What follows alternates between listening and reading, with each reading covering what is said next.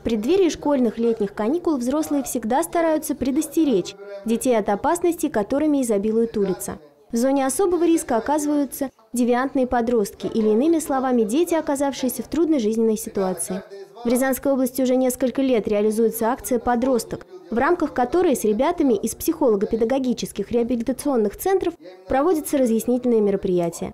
В этот раз дети не слушали лекций и не смотрели презентаций. Они играли. Никогда вот стакан, чё? Уходим отсюда. Они меня не уважают, что ли, брат? Пойдем быстрее. Давайте валите отсюда, сказал тогда вообще. Вы знаете, я просто помню, когда ко мне в школу приходили и рассказывали так очень сухо о том, что наркотики это плохо, алкоголь это плохо.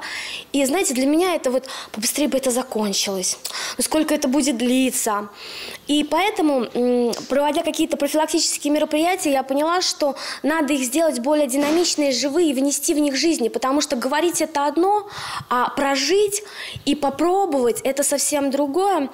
И поэтому э, решили написать такой проект. Э, суть сегодняшнего мероприятия, она, наверное, может быть сформировано буквально одной фразой. Нам нужно сформировать у детей, находящихся в сложной жизненной ситуации, другое отношение к жизни. То есть эти дети достаточно много видели не очень хорошего, может быть, да, в жизни. Вот. Э, сегодня мы им показываем, как можно противопоставить нехорошую сторону жизни хорошей. То есть сегодняшний квест организуют э, Управление наркоконтроля, Управление образования, Центр военно-патриотического воспитания. И здесь присутствуют, проводят его непосредственно волонтеры антинаркотического движения, волонтеры реабилитационного центра.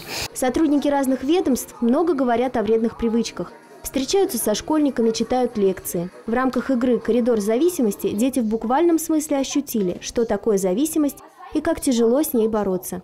Из комнаты счастья ребята попадают в комнату алкоголизма, наркотиков, одиночества, пытаются вырваться из цепких объятий вредных привычек и, наконец, знакомиться с фотографиями тех, кто не смог побороть зависимость. Мы надеемся, что если хотя бы один из детей э, прожил, услышал и понял, э, что это не классно употреблять наркотики, плохая компания и сигареты, и то, что это приводит вот к такому э, помещению, к, к черным помещениям, потере здоровья и так далее, то, я думаю, мы победили сегодня. Это первое наше мероприятие. Оно стартовало в Рязанском регионе.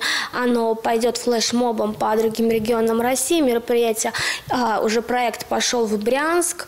А, Сочи проект пойдет в Москву. Он будет проводиться по школам, по детским лагерям. Мы будем ездить с этим проектом. Организаторы утверждают, важно провести профилактические мероприятия, предотвратить проблему. Бороться с ней гораздо сложнее. Насколько эффективным станет именно такой режим проведения превентивных мероприятий, покажет время. Пока же горящие глаза детей свидетельствуют об одном. Игра «Коридор зависимости» никого не оставила равнодушным.